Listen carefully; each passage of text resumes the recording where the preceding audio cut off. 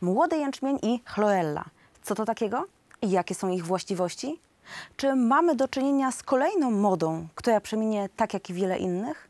Czy też te zielone produkty na stałe zagościły, tudzież powinny zagościć w naszej diecie? I już w najbliższym odcinku będziemy mówić na temat zielonej żywności funkcjonalnej.